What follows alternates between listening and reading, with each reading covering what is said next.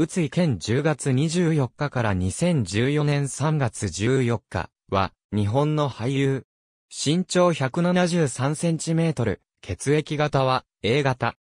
東京府東京市深川区出身。俳優座を経て、新東宝に入社。若手映画スターの一人として活躍。新東宝倒産後は大英に移籍、大英倒産後はフリーとなる。大英在籍時からテレビドラマにも進出し、以来60年近くにわたり、第一線で活躍した。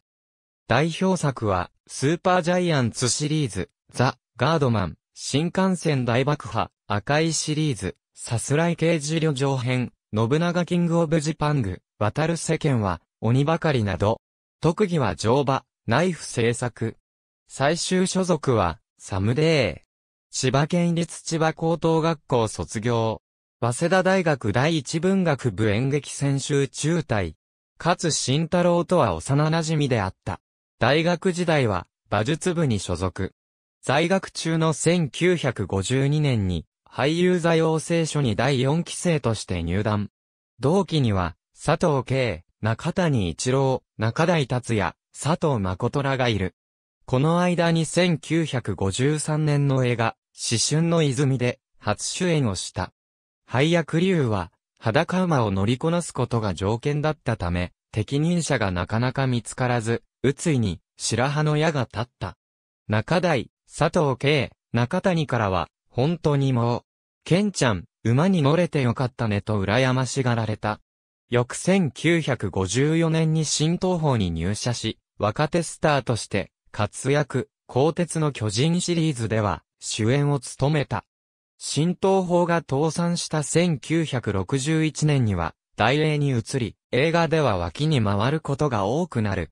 1960年代半ばから1980年代前半まで大英テレビドラマの大黒柱として活躍。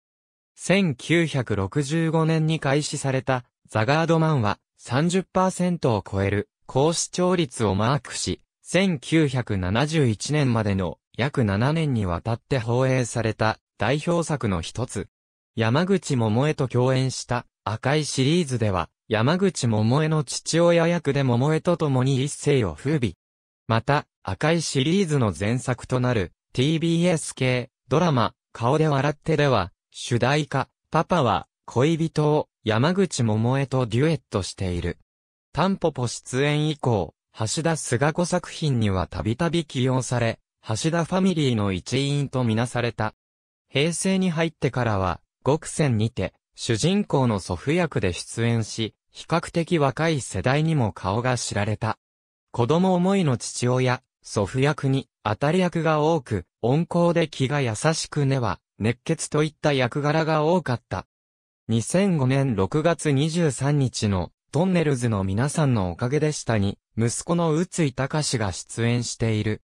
2005年の自身の誕生日に、重病を患うもクリスチャンになり気丈に振る舞っていた。妻の姿に心を打たれ、クリスチャンになった。自宅には、トレーニングルームがあり、テレビ通販で購入したマシンがたくさん置かれている。ただ、有酸素運動は嫌いだという。また、ドラマの収録時の合間には持参した、鉄アレイで体を鍛えていた。ザウの名は、才能の器は、小さい、努力の器は大きい。2014年3月14日午後6時5分、愛知県名古屋市の病院にて、慢性呼吸不全のため死去。82歳没。2013年頃から、肺気腫を患い、知人の医師が勤務する名古屋市の病院に通院していたが、死去の1週間ほど前から容体が急変、11日には緊急入院し、処置を受けていた。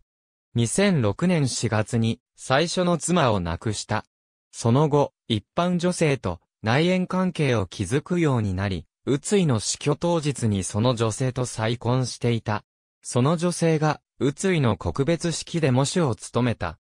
宇津井の死去を受けて、主演ドラマ、ザ・ガードマンの企業モデルとなったセコムが、オフィシャルツイッターにて追悼コメントを発表し、長年の親友だった中台達也が私一人が取り残されたと個人を忍んだ。映画作品の遺作は、2013年8月31日公開、劇場版タイムスクープハンター安土城最後の1日隊。テレビドラマの遺作は2013年5月27日、6月3日の2週にかけて前、後編で放送された、渡る世間は、鬼ばかり2013年スペシャルであった。最後の私期収録時は、肺気種の影響もあって呼吸が困難であったため、撮影の合間に呼吸器をつけて、息を整えながら臨み、1分以上の長ゼリフも、最小限に抑える、配慮のもとで無事に乗り切った。2014年4月20日に、テレビ朝日で放送された、相棒を、劇場版2、警視庁選挙。特命係の一番、長い夜において、エンディング場面で、追悼のテロップが流された。5月1日、ホテルオークラ東京でお別れの会が開かれ、水谷豊、三浦智和ら1000人が出席した。早稲田大学に入学直後、新宿で颯爽と馬に乗る、同大学の馬術部員に惹かれ、馬術部に入部。以来、乗馬歴は60年に及び、乗馬技術のみならず馬の修正、乗馬用具にも造形が深く、日本の俳優の中でも、屈指の馬術の達人の一人として挙げられている。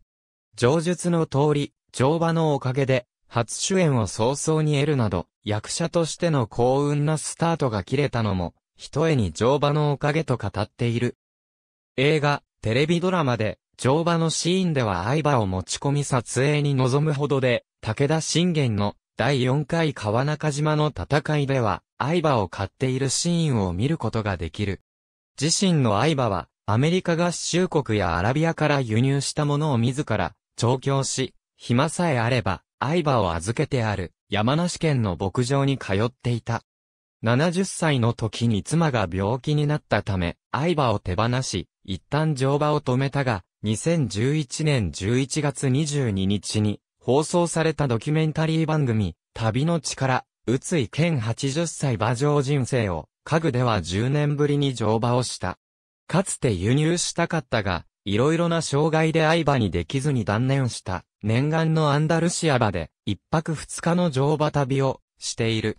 馬肉も食し、お皿の上に乗っかっているものをかわいそうがっても、仕方ない。美味しくいただくことが供養だと語っていた。